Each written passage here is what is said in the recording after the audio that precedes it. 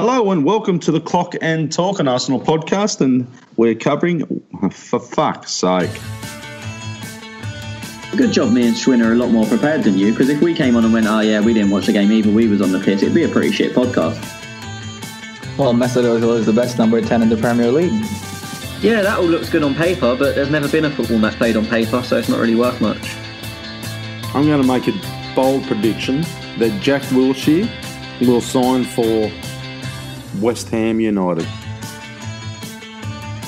It's time to start watching football with your eyes. I think people listen to what the commentator's saying and have that as their own opinion, but if you watch what's going on, you'll see things a lot clearer. Schwinn, who do you think is going to win the Golden Boot? I think Alexis Sanchez might do a number on that this year. okay. Tony talks about a clock being right twice a day. Tez is right every day. Try it from five, lads. Fucking beauty!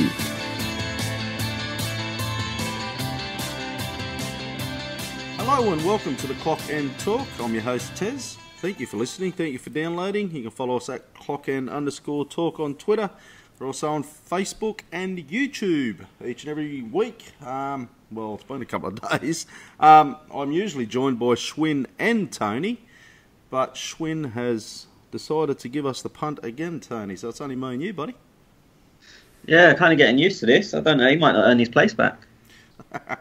um, I don't know what his go is. He's touring around the world. He's he's you know what what he's yeah, I don't know. He might be back next week, I suppose. Who knows? Fucking idiot. nah, good luck to him. Good old Schwinn. Um, what do I say? I said because Ozil's not playing, he, he decided to chuck his dummy out and fucking he, he's not coming on the podcast. All right. Um, okay, let's get into this game. Huddersfield, buddy. Uh, formation and your lineup. Were you a bit surprised? I was surprised, and I thought it was the wrong choice. Uh, going with the flat three. It's all well and good saying, "Oh, it looks attacking because we've got the two strikers on the pitch," but there was just no link up at all. The, the gap between Huddersfield's defence and midfield is huge but we had no one filling that gap, or one of the two strikers had to come short, and then it left their their centre backs against one striker. So it just it didn't work at all. Um, mm-hmm. I, I, was really surprised he he didn't play two of the three, any two of the three, and then play either Iwobi or Mickey behind, still keeping the two strikers, but the flat three in midfield just really didn't work at all. I um I I was fuck assing around. I had got a new phone, so I wasn't really on Twitter. Uh, I'd imagine a lot of Arsenal fans would be a dream. Lacazette, Aubameyang up front. Finally, um, everyone's been calling for it, and it was only last week I was saying, you know, give it a year, two years for Guendouzi. Um, you know, to obviously find a Guendouzi type of super player, which I think he's going to be eventually, um, to fit him, Granit, and Torreira in the in the same team, and here we go. We've got two up front and them three in the mids. Arsenal yeah, I mean, would have been fucking, you know, having a good old wank over that. Yeah, I mean, as I said, I think he's put the two up front, which a lot of people have been calling for, but he hasn't given them a platform to to perform because he's not given them any support. Like you look at who's gonna who's gonna get the assists because the the three midfielders are too far away. Even even though Granit does have a great range of passing, he's not a. Any time he gets assists, are usually from set pieces. So, and then and then the wing backs in general against a team like Huddersfield that are going to defend with seven or eight are, are very rarely going to get in behind. So you you just think like how are these two going to get the ball? And, and and that was the problem. Mm, yeah, they were definitely struggling to get the ball, weren't they? Uh, get into the match, obviously, Granit he got a yellow straight off the bat, 24th minute. Uh, yeah, I mean, for me, it wasn't. Obviously, he got booked for diving. Uh, as I said, not for me. Uh, I think he just ran across him. It's not a bad foul by uh, Aaron Mooy, but whenever you run across someone, any little touch because of the like the way you're running sideways is going to take you down. Granit maybe made a little bit of a meal of it because they'd gotten away with so many of them types of fouls. Yep. But for me, it's it's it's definitely not a booking. I'm trying to, you know, where do we steer this podcast? Because the first half, you know, it was pretty fucking. Well, to be fair, I, I think fucking more happened in the first half. That it, look, I mean, the whole quality of the game was shite. But for me, I think there's probably more action in the first half. I don't think anything happened in the second half apart from the goal. The goal happened. There was a couple of shots. Um, look, I, we'll speak about that. The Aubameyang, uh, Granite, you know, went Guendouzi past the Granite and then Granite to Aubameyang. Um, yeah, Aubameyang goal. You, you'd think he'd get every day of the week. Yeah, I mean, look, he's missed easier chances this year, that's for sure. But he should be scoring there. Um, I, was just obviously saying to you before we recorded, them them chances are sometimes not as easy as they look. I'm not really defending him because he should still score, but when a ball's flashed in uh, from a wideish area like that, it's on your weaker foot and you, you've just got to prod a foot at it. You, you should score, but it's, it's that's more instinct, and that's probably what's more disappointing that his instinctive finishing is usually quite good, but obviously it wasn't to be. Um, and I I think the, the stadium. an early goal would have done us a, a favour because they would have probably had to come out and play a bit more at Yeah. some point, but wasn't to be. wasn't to be. Um, that, that, I have to give praise to Guendouzi and obviously Granite. They, fuck me, they were. oh, I like that. move the ball, you know, change the direction, move the ball around, and it just yeah, it would have been it would have been perfect if Aubameyang had finished that. Uh, Lacazette, I can't remember the exact minute that one was um, because I I spoke you, you know, obviously before we started recording, and I thought the Aubameyang one was a, a, a, you know, a better miss than the Lacazette one, but you said the Lacazette one would have been an easier miss.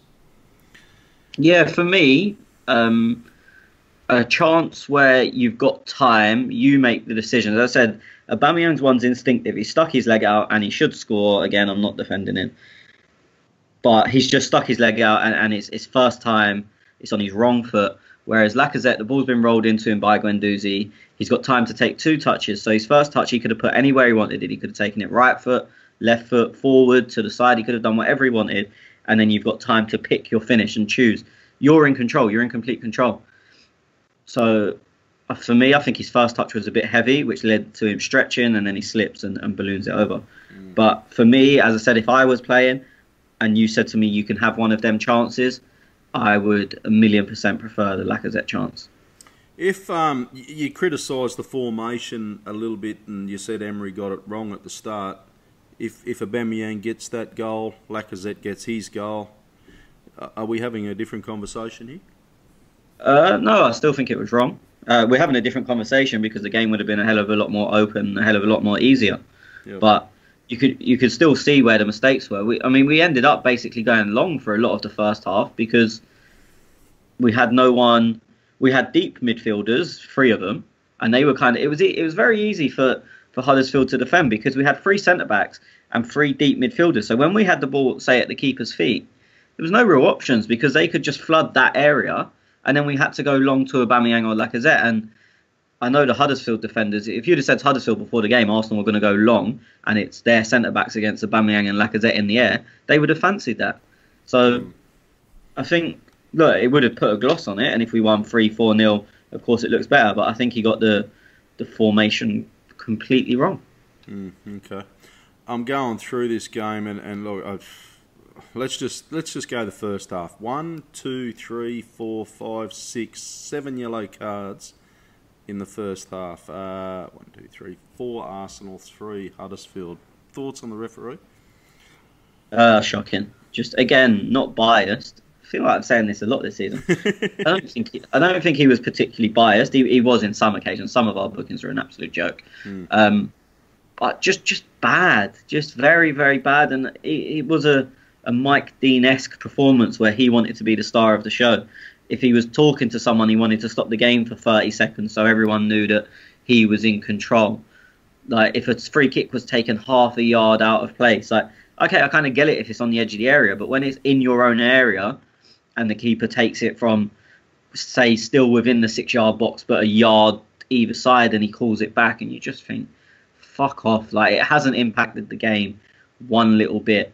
And every throw on he wanted to make sure that the players were going back or going forward. And look, yeah, I know the letter of the law that you take the throw on where the ball goes out, but every throw on you ever see, someone steals two or three yards either way, and it's just what happens.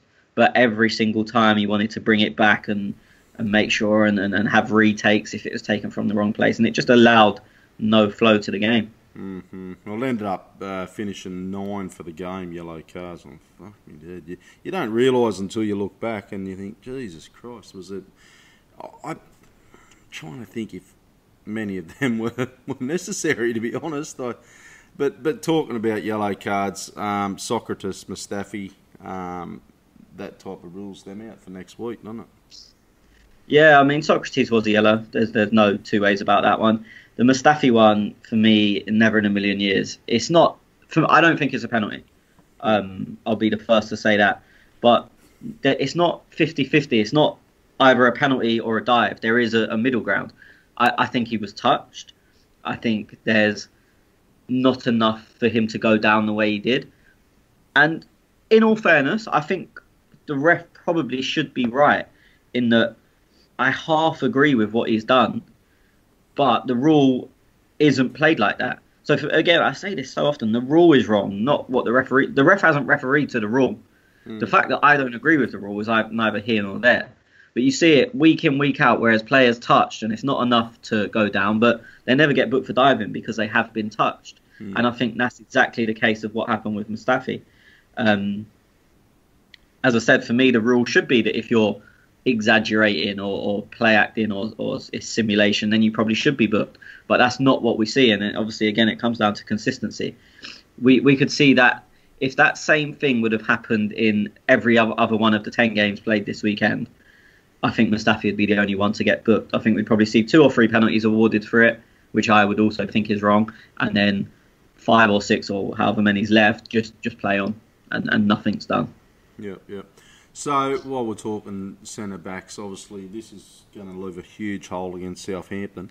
Now, what happens? Um, obviously, they can play. Socrates Mustafi can play in the Europa League game, and then yep. does he use the ones that he was going to maybe in the Europa League to Southampton, or does he test them during the week? You think, and and you know, I don't know who we got though.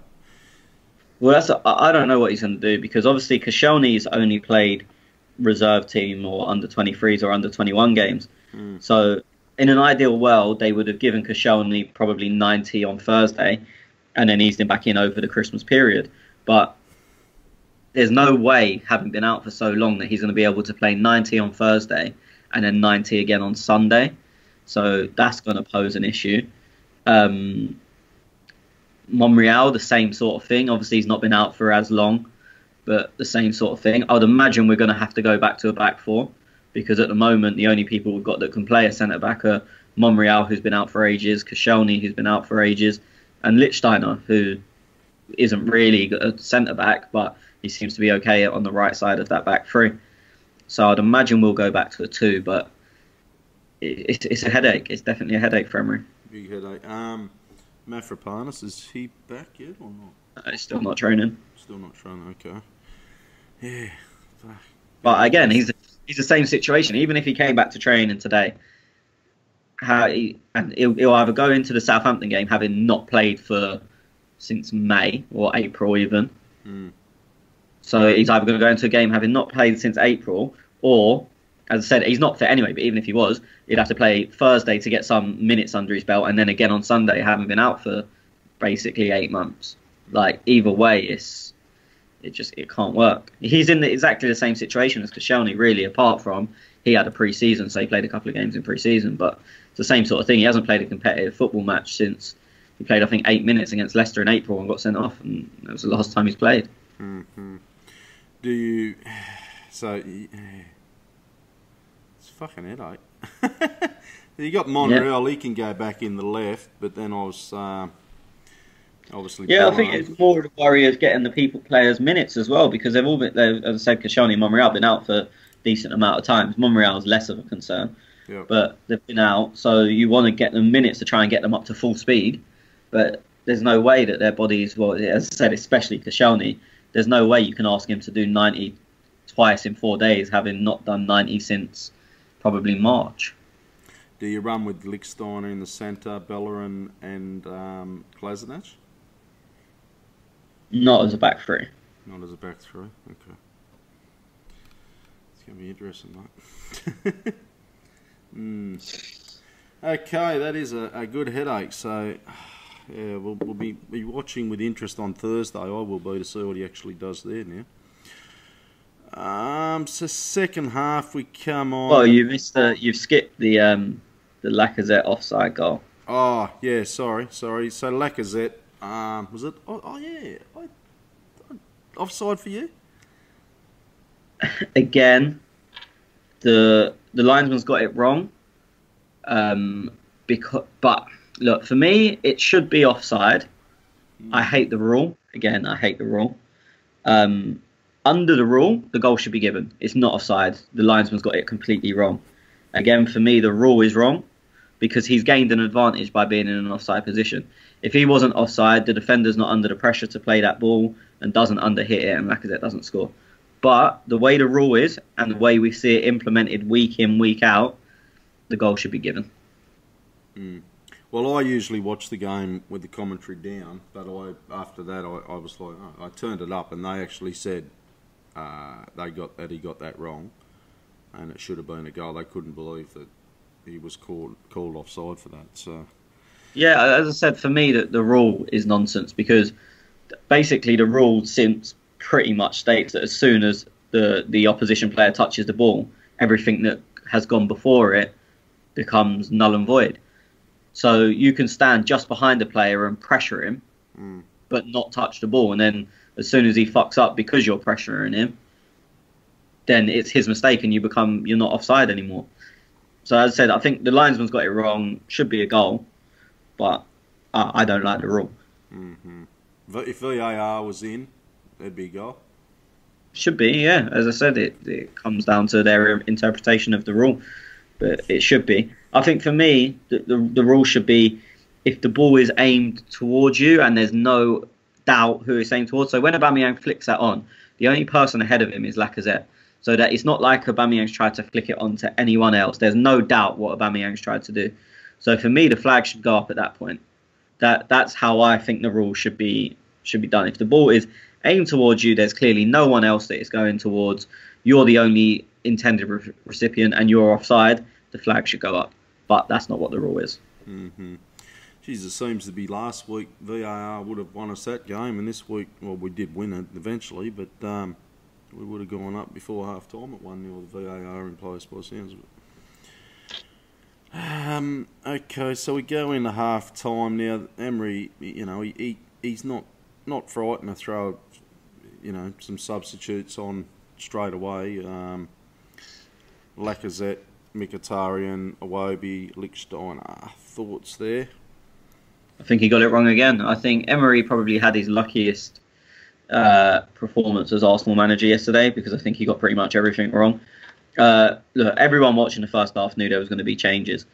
I, I know we don't know exactly what Emery's going to do yet, but I think we've got a pretty much enough clue after what is it, 23 games now that, that if something's not working, he's going to change it. Mm. Uh, I expected one of the two to come on, or I wasn't surprised that both of them come on. We we definitely knew one of them was going to come on, but um, one of the midfield three had to go off because, as said, that, that gap in the middle was huge, and then he he brought on wide players, but then Aubameyang was in the box on his own, and that gap still existed between the midfield and the strikers. And if Mickey and Iwobi tucked in to, to cover it, then we didn't have the width that, that Emery wanted to bring on anyway. So I think the the Lichtsteiner one's fair enough. Go back to a back four. There's no there's no worries there.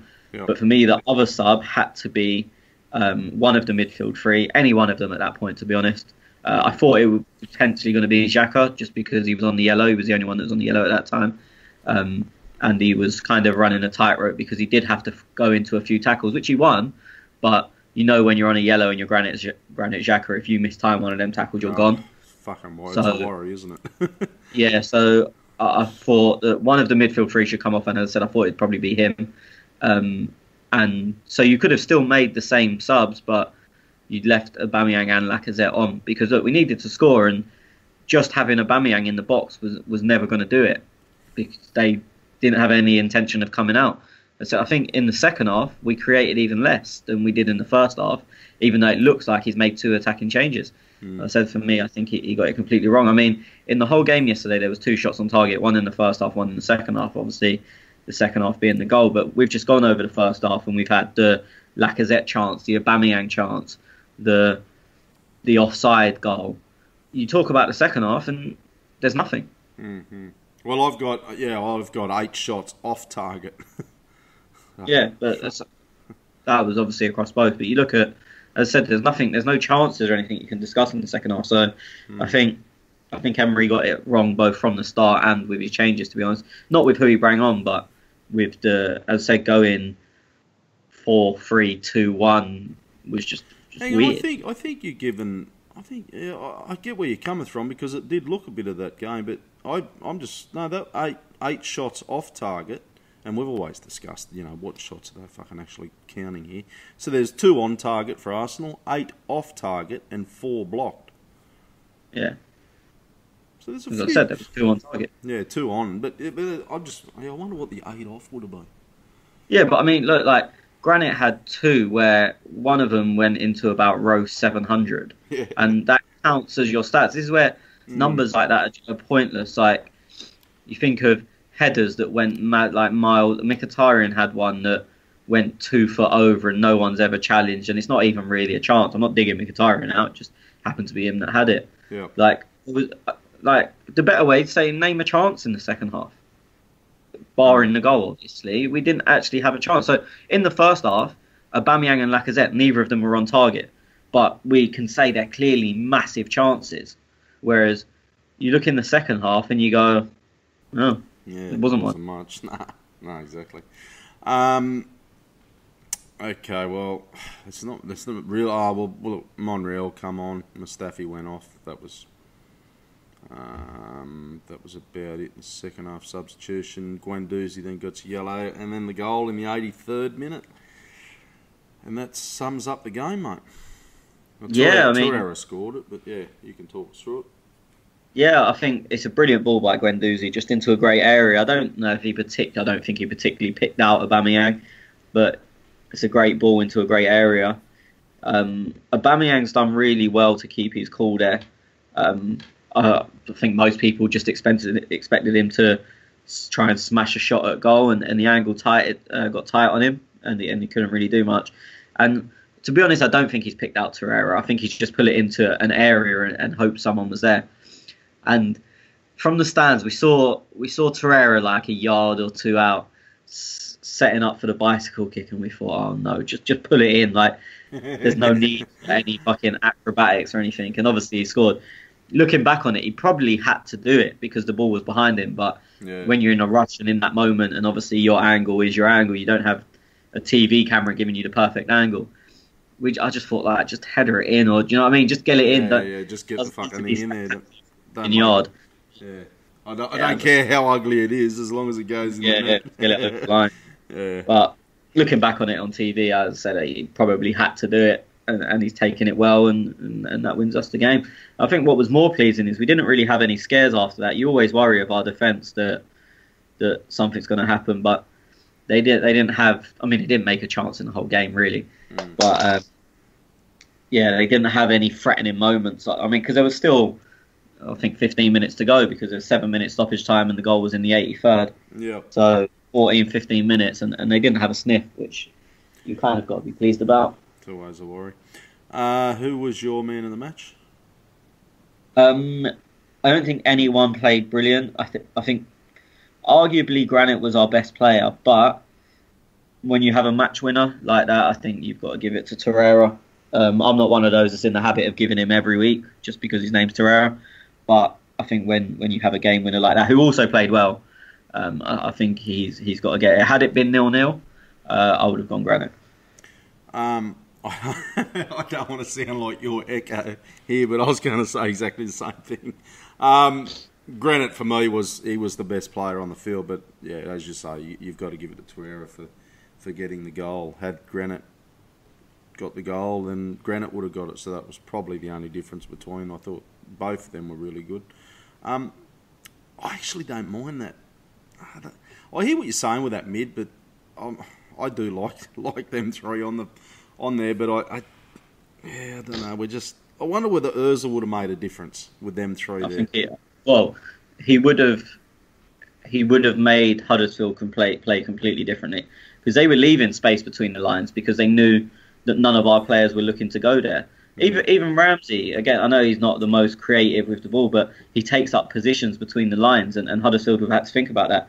They they almost were allowed to fully press us because no one was taking up positions between the lines. As I said, we'd have a goal kick, and the centre backs would the, the two outside centre backs would split wide, one in the middle of the box. The three centre midfielders would all come short. So that's and then the wing the wing backs would go sort of semi high and wide.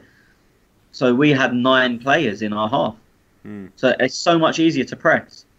Where so they could push on their, their attackers and their midfielders, knowing that their back three would be comfortable enough to deal with our 2 Mhm. Whereas if we had someone in between the lines, it makes them play differently. I think had they not ch- had they played exactly how they did, which they wouldn't have done, but but Ozil would have been on the pitch. I think we'd have had a field day. I think we'd have won it very very comfortably. But they wouldn't play like that had an Ozil or a Ramsey been on the pitch. It, it wouldn't be that formation. Well, it wouldn't be that. It's not formation. They'd probably say the same formation, but the way they play it, they wouldn't commit Oh, so many people to press. Who do you Because- take off? Guendouzi. I, I wouldn't have gone with the three. I, I think No. it's wait. It it means you can control the ball more. I think in some big games that three might not be a horrible idea, Hmm. but against a team where you're going to have vast majority of the ball anyway, you don't need people that can just keep the ball. Yeah. You need someone that's going to take a bit more risks and, and and may lose it a bit more, but they're going to be near the attackers and, and trying to put them through on goal. hmm I'm just looking at how they set up. So they set up a three-five-one-one. Yeah. I don't know. Hmm. Um. Leno, he was didn't have a lot of work to do. He was pretty good, pretty consistent. Didn't have anything to do. I, I wouldn't say he was good. 'cause He didn't do anything. Yeah. Not bad. It's not criticism, but if you don't do anything, you're you're just nothing for me. Like. yeah. Okay, and you can't blame him because they didn't give him anything to do. There's nothing to do. Yeah. Yeah. Um, okay, that's about it. Unless you want to touch any more on that. Think we No, covered no. it all. Yeah. Yeah, we talk about Kolasinac, Bellerin, I don't know, but it's not, you know, you go through all the players, but as you say, I don't think anybody was announced, you know, Torreira, Granite were probably the best on the day. Um, Aubameyang, like I said, didn't get much ball. Formation probably didn't work, so there's there's a lot of factors. Uh, You already touched on Ramsey, we touched on Ozil, so yeah, let's get into some questions. There is, Okay. a, there is a few, I think. Good podcasting because I haven't even fucking organised this shit. You didn't even put a thread up till this morning, did you? No, no, I, I wasn't. I said I didn't have a phone, so I wasn't on Twitter. Thought, I thought, I thought Schwinn would have done it. to Be honest, like, yeah, fucking useless as that bloke lately. Fuck mate, yeah, I, I'm hearing you, Schwinn. Love you, buddy. Um, okay, Sandeep. Uh, watching this game in particular, it made me realise how big we lack depth due to injuries and suspension. Does this A concern you? B, do you think it makes a great case to strengthen in January? Um, I don't know if we particularly lack depth. Um, I think it comes down to Emery getting it wrong. I think he, started the wrong setup, the wrong formation. And look, who are you gonna? I don't know. Look, you look, you go looking forward, and you say, "Oh, Southampton, we're going to be short at the back." So you could say we lack depth, but we're essentially without Mavropanos, Holding, Socrates, Mustafi. That's four centre backs that you're without. Koscielny just coming back.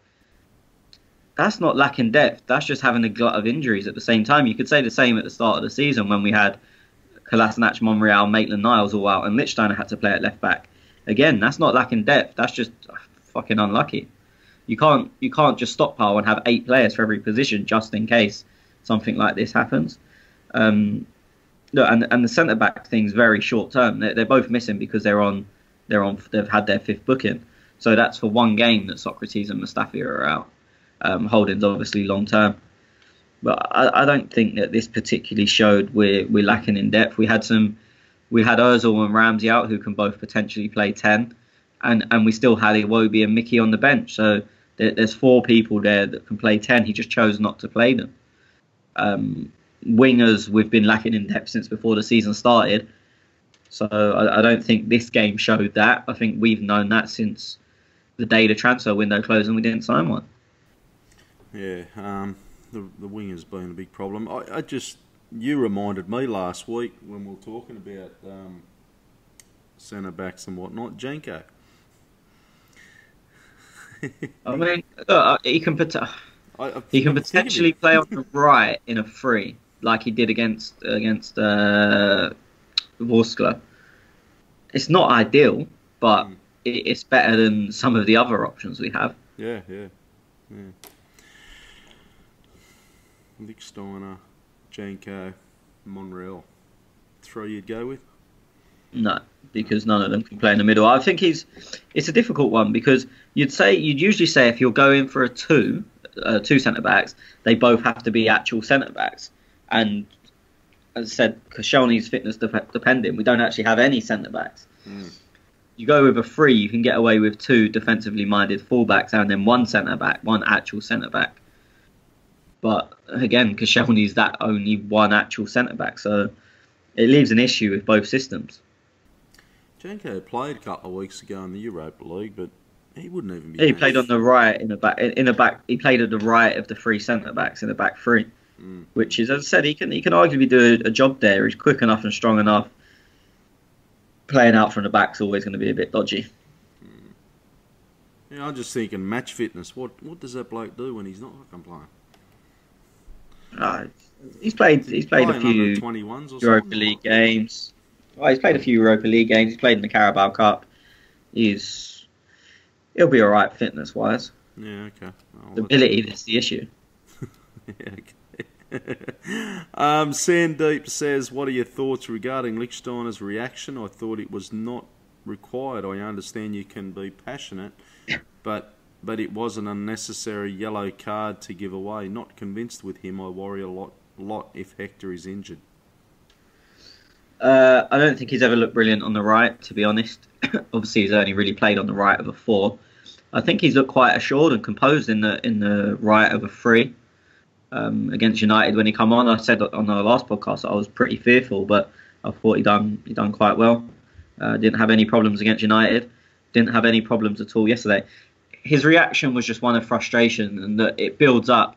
And, and, I, and I know it's the same for people watching it on TV, so I'm not trying to do the oh I was there, so I know what it's like. But the frustration was building up in the crowd as well because they were just getting away with foul after foul after foul. And again, a lot of them were, were not the worst fouls, but there was just so many of them and, and they were getting away with them. So then when they do done one that was semi bad, I think I think a yellow probably was the right decision from from the ref. But it's just all that frustration comes out and you, you start screaming at the ref like what are you going to do about it? You have a go at their players because it kind of looks like oh, they're, they're building up. So they do a, a one out of ten foul and the ref lets them get away with it. So then they go two out of ten, three out of ten, and and that one was the one that was the worst by quite a long way. And it, you've got to stop them from just going, keep going through you. And and if the ref's not going to do something about it, you've got to. I don't think he'd done enough to to put himself in trouble. It wasn't like he went over and swung a punch or anything. Maybe a stupid booking, but I think at some point you've got to make a stand. Uh, I, I don't really see any problem with what he done, to be honest. Okay. Um, Sandeep, he also says, as uh, we missed Ozil, but we kept the clean sheet. Yep. Okay, uh, Cosman Buddha, are you aware of us being less clinical in the front of goal compared to other top top six teams? We create a lot of chances lately, but we missed a lot. I have to agree with this this comment or question. Uh, we created a lot of chances lately, but we missed a lot of them. Well, I mean, look, again, we had the debate about XG on here a couple of weeks ago, and I think it's absolute nonsense. But you, you, it was you actually that posted the image that we are the most above our XG uh, in the league. So that that would tell you that we actually score more of our chances than anyone else. And it was quite, uh, as I said, you posted the picture. I can't remember off the top of my head, but mm. we was quite a long way top of that as well. It wasn't like we was just there was loads of teams all around the same. We was clearing away on top of that. Um, I think yesterday, there was only the one game against Chelsea. well, yeah, I was going to say yesterday was only the second game. Uh, yesterday our XG was two, and obviously we only scored one. So I completely disagree with with the question, um, and and the stats back that up. And again, like, everyone knows I'm not a stats man, Yeah. but I, I don't feel like we're create. You know, yesterday we missed missed a couple of good chances, and we probably did against United. But then when you score goals that where you're not really expected to score from, then it you know it swings in roundabouts. hmm I, I just I, I get the question because of I I look at it and go fuck there we go Bellerin's you know he's going up to the right he crosses ah, fuck there goes another chance you know could have been something. Um, and and I think it could comes down to we haven't got that that that winger. Um, look not taking nothing away from Bellerin he's had a he's had a very good season I think but um, just I, I get where he's coming from because I often think to myself when you've got either a Lacazette or, or an Aubameyang um, playing in, in front of any team like uh, you know the, the, the you, you, I think your expectations of an Aubameyang Lacazette is you're going to you're expecting a lot of goals and maybe that hasn't happened either so But with, with us being so far ahead of our XG, as said, that would suggest that that is that their finishing has been been brilliant, and they're they're scoring when they probably shouldn't. Because as I said, we're, we're so far ahead of of where we we should be according to XG. That as I said, I, I don't feel like we're missing a chance. I've just I've just dragged them up now. I've just dragged up the website that shows me the XG, and from open play, we've scored four goals more than what we're expected to based on the chances created. Uh, one and a half goals more from corners than we're expected to. Uh, 1.6 from free kicks than what we're expected to. And a quarter 0.24 from a penalty than, than we're expected to. Uh, the only the only thing we're down on, uh, we should have scored more from set pieces according to XG. But of the five That's categories, we're, we're up on four of them and, and handsomely up on, on four of them, and then only a slightly bit down on set pieces. Hmm, okay, I'm just going through. So Aubameyang scored ten goals. So how many? If you if I'd have said, well, I probably did at the start of the season. How many goals would you like from Aubameyang? Uh, I think you probably go 30 all comps. If you get to 26 in the league, that's that's two and three roughly. Yep. Uh, obviously, it's, that's just the prem, that's just the Premier League. Yeah, Yeah, yeah, yeah, yeah. Um, but yeah, but 26 is always. I know Salah got whatever last year, but in general, 26 in the league will put you in the top three in the top scorers, if and in and around that argument. yeah, yeah. So Salah's on ten. Uh, fucking Salah's on ten. Jeez, he Yeah, can't. he got yesterday, didn't he? Ah, hat trick, yeah. Uh, Aubameyang 10, Harry Kane 9, uh, Lacazette 6, he's down in 12th. So, you know, the same question, Lacazette, how many do you expect Lacazette at the start of the season? I don't think anyone expects Lacazette to score as many. Oh, you fucking, you fucking got the hate mail coming now. Well, well, no, I'm not because the people are fucking. If they say they expect Lacazette to score as many as Aubameyang, then people are gonna have to say, "Oh, he's not done his job" and criticize him, and, and people won't criticize him. So you can say as much as you want about Lacazette in that sense. Yeah, true. Um, yeah, look, I'd probably say, I'd expect, as you say, 30 from 26, 30, something like that from Aubameyang. Probably, you know, if I get 20 out of Lacazette for the season, uh, I think they've had a good season. So, um, are they on par with that? Probably Aubameyang. Yeah, I suppose they're on par with that, aren't they? I'd like a few more from Lacazette. Those six. Yeah, I mean, obviously he's had that goal United taken off him, which is Oh, Joe. yeah. That, yeah, that should have been seven, shouldn't it? Pretty piss poor. Um, Jonas, as good as we seem to play against top class size Liverpool Spurs, as bad is our play against teams of less quality. Is this the case of underestimating these kinds of games? I'm not sure. I think if you look at this game, I think he just got this game wrong in isolation. Um, trying to think, I don't know. You could maybe say the, the Wolves game. I think he got it wrong as well. I'm trying to think where we've dropped points to the, the the lesser team, so to speak. And I think, obviously, I know yesterday we didn't drop points, but I think Emery got it wrong. I think he got it horribly wrong against Wolves, as I said at the time. Yep. And then and then Palace, you know what? It was two penalties. It's That was a hard And- one, really. Like, yeah, two, you're away to Palace. I think the mistake he made at Palace was making most of the players travel for the Europa League game before. Um, and he made some bad subs. To be honest, I don't think it's underest- underestimation. I think I think the games we've dropped points, barring City and Chelsea, even Chelsea to be fair, I think it's probably when Emery's made the biggest mistakes. And, and look, they're not horrendous mistakes. It's not like he- he's made absolute terrible decisions. Mm. But and, and again, we're looking in hindsight because you know what happens. But I think the times he's got it wrong, he's pretty much been punished for it. Apart from yesterday, and when he's got it right, he's been rewarded. As I said, look, I was the first to say against Tottenham, I thought what he done was genius. I thought he he managed the game perfectly. You couldn't manage that game any better. yeah. But then other games he has got wrong, and, and he's been caught out, as I said, apart from yesterday, and that was probably down to Huddersfield just being very bad at football. Well, I've just looked back, and so obviously the two, you know, well, fuck, we've gone 21 un, unbeaten, so it's very hard to try and find something here. Um, the only other one, and I'm trying to, you might remember it better than me, was the 2 3 against Cardiff. We did win it, um, but to let Cardiff the two goals, I, I don't know if that was a mistake on Emery there. No, I, don't really think so. Um, Um, but other than that, I'm not really so much Crystal Palace 2 2, but it was the, the couple of penalties, as you say, and Wolves. That's yeah, and I mean, Cardiff was the first away win we had. Um, it was only the second win in total. We we would obviously lost to Chelsea, City and Chelsea, and we beat West Ham, but we was terrible. And then the next week we had Cardiff, and we hadn't won an away. Well, we'd only won one away game in the calendar year at that point. Bourne, Bournemouth, they got one early on us, and we were a bit, uh, went, didn't they? That was a Huh? good cup. Bournemouth, uh, we 2 1. Yeah, get- we was one. yeah, but did they get an early goal on us? No, we we come scored back? last kick before half time. Oh, there you go. Okay.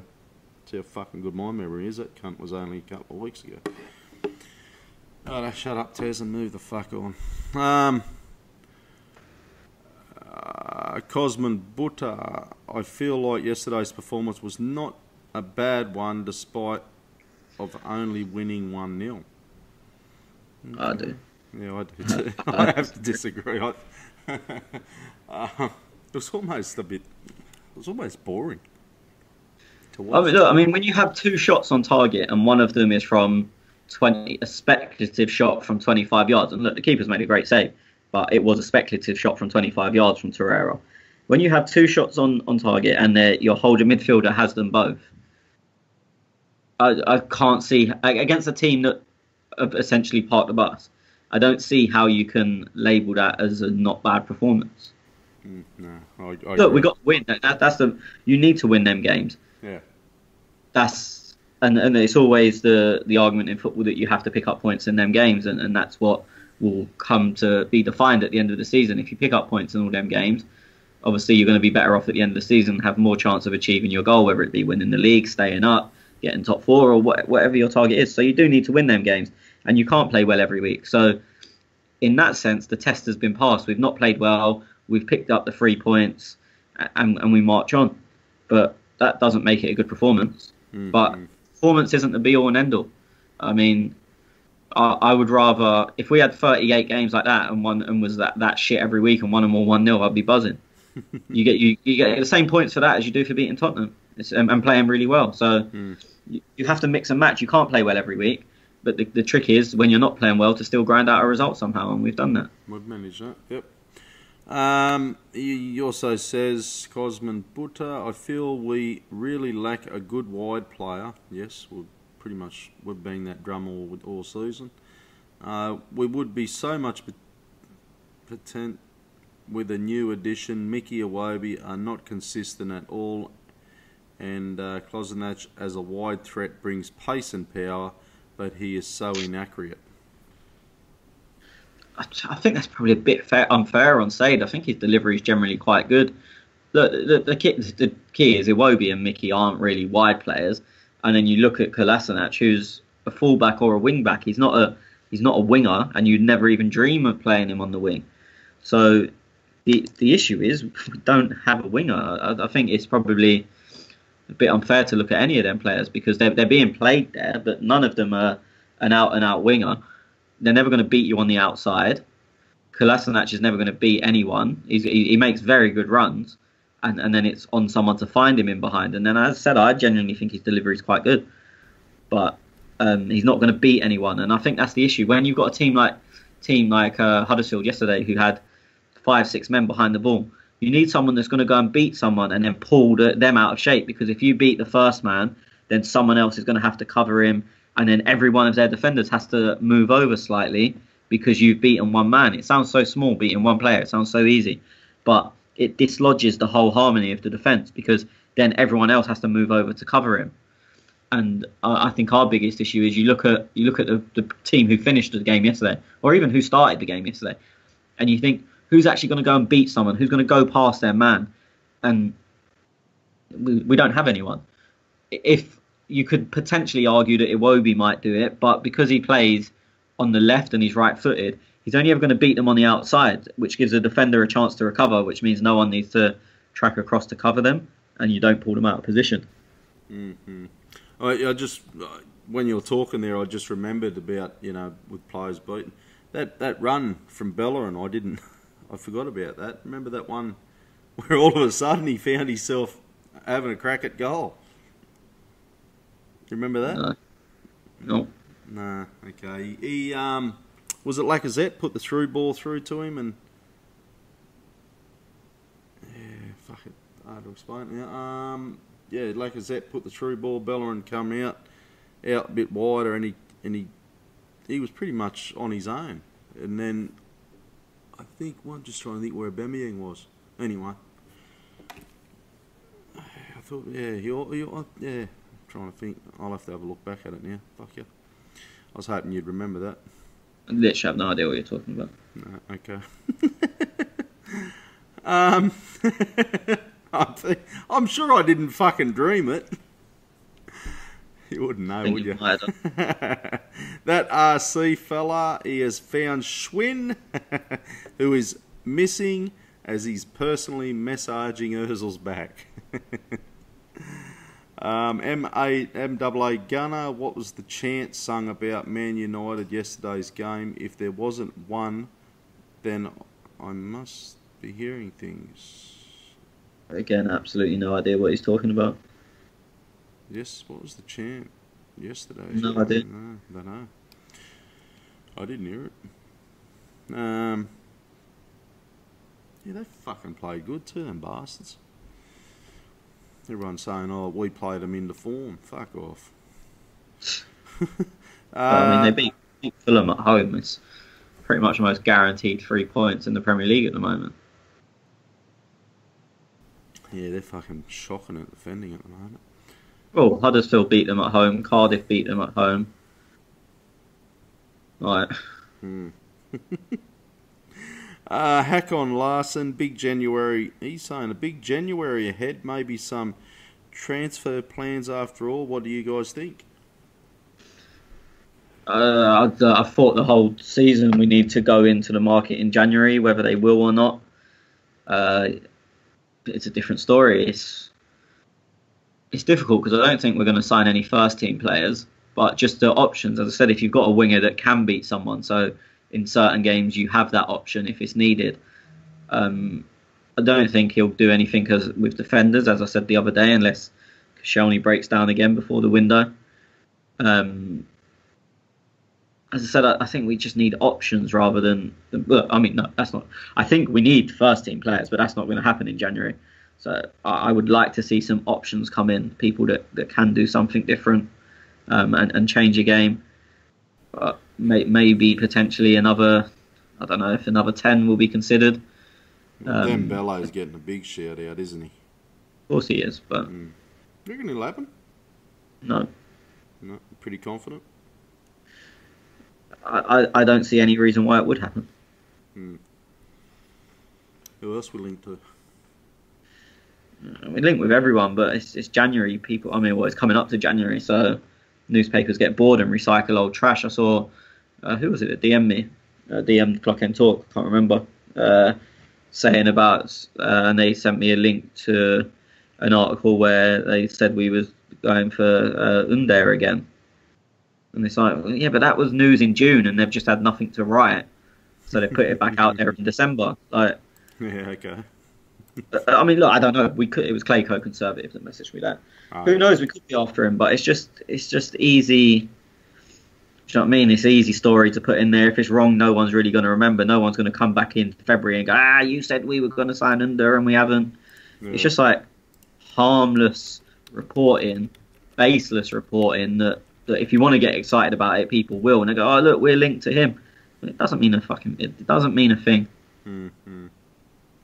Yeah, I think I'll be honest. I think I think Sven's probably got a couple of targets, and they're going to be a Guendouzi model. I, I, I just get that. Which don't get me wrong. I if he can find another couple of them type players, I'm happy.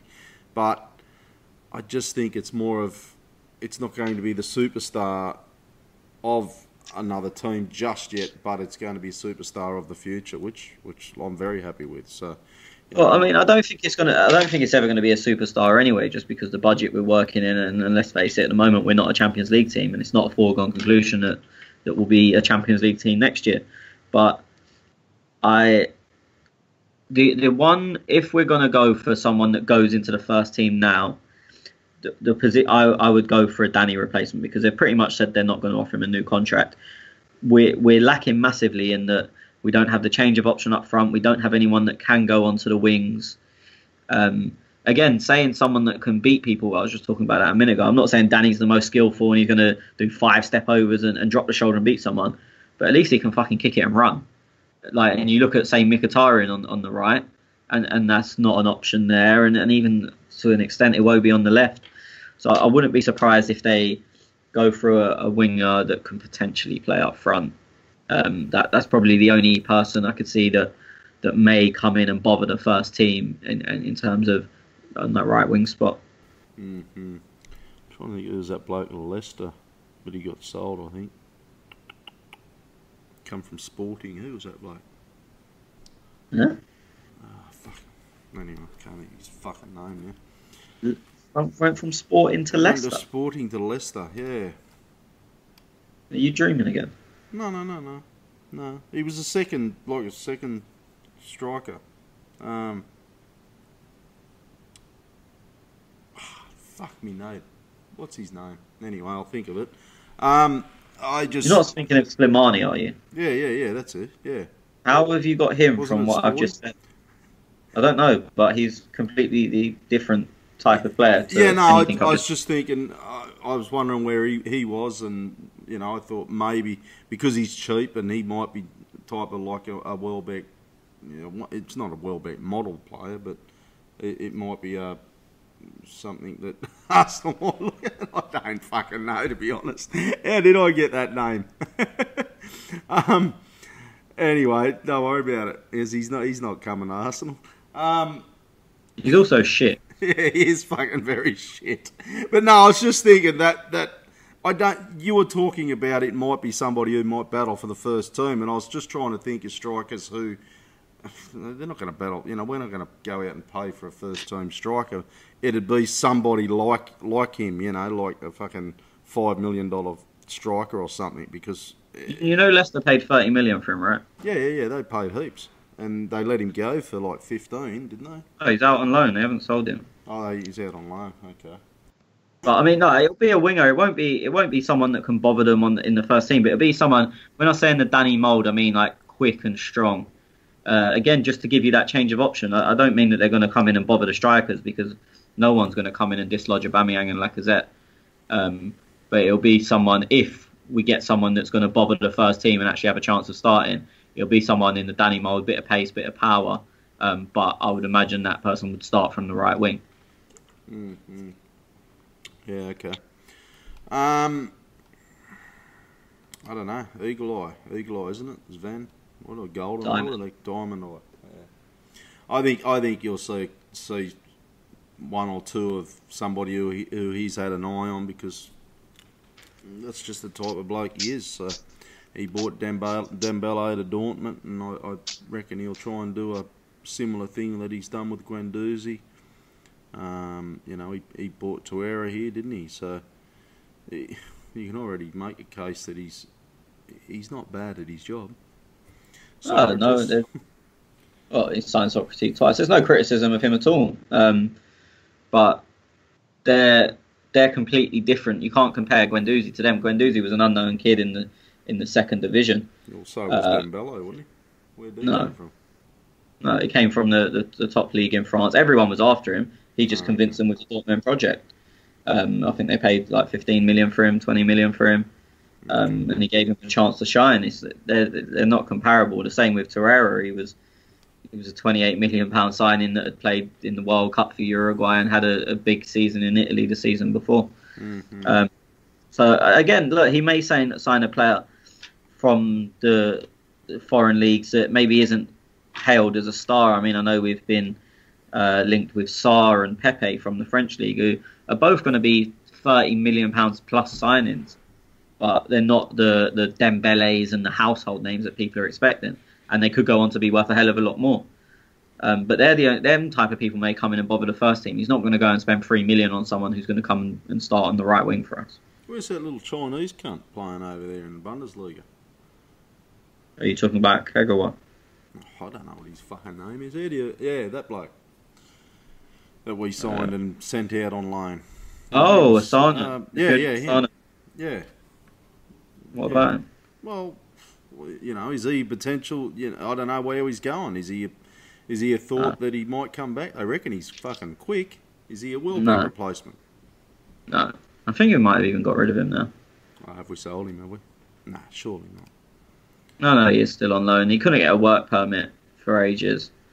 Um, but no, I mean, he's only played five games in the Bundesliga this year. Oh, is he? So he's not doing that well. Hmm. It's always an odd signing. That that was really, really an odd signing. That. No signing from Asia is ever odd. Just I couldn't work it out. no signing from Asia's ever odd.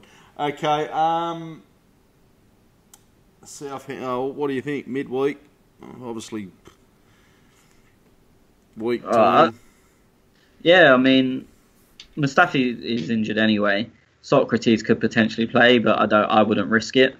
The it's difficult. I, I want to see a team very, very similar to, to what we saw at um, away to Vorskla. Um, maybe even a touch weaker because I don't want to see Lichtsteiner playing. Um, but I, as I said, your Elnenys will get a run out. Uh, Smith Rowe, Eddie, Willock will all start. Maitland Niles will start.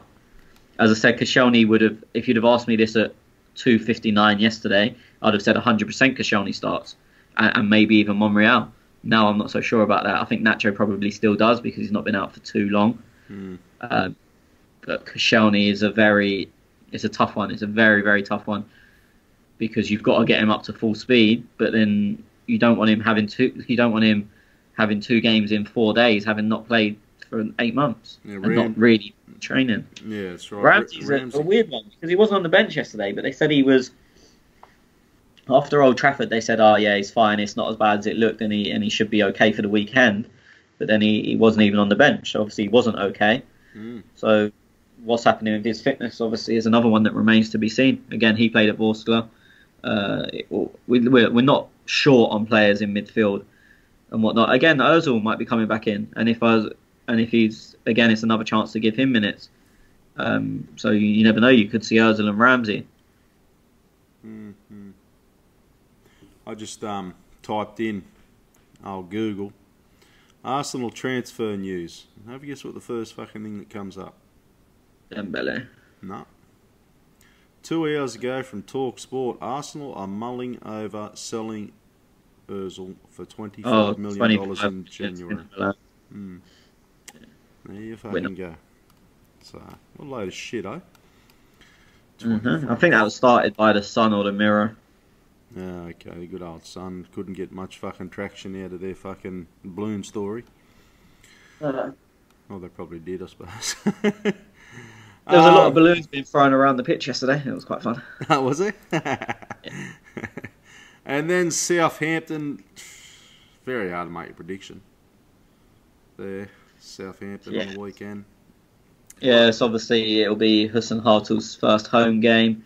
I, I would probably argue it's his first proper game. He only had two. Tra- I mean, they lost to Cardiff away yesterday, but they only had two training sessions. Mm. Um, Who'd they replace Uh, him with? Who was it? Hussein Hartel, Oh, okay. you ain't got a clue. Uh, I got no idea who he is. His name, so they call him the Alpine Klopp because he's Mhm. from Austria. Uh, interesting or kind of ridiculous fact: his surname Hasenhüttl translates as Rabbit Hutch. Fuck me. Rabbit Hutch. Are you just are you just taking the piss now or what? Huh? you ain't fucking on the Google too much, have you? No, it was on the radio as I was driving driving back from the game yesterday. They were talking about the, the Southampton game, and uh, yeah, Ralph. Hasenhüttl. Apparently, Hasenhüttl, and I'm not even sure what language. Hmm. I'm assuming Austrian. I don't even know if Austrian is a language or they use another language, but um, yeah, This- this- Hasenhüttl is. This is where we need this is where we need fucking Schwinn on the podcast. He's good at this shit. I mean, I'd be amazed if he knows that Hasenhüttl, if Hasenhüttl does actually translate to, So what? Rabbit Hutch. I mean, he's had he was a Leipzig manager.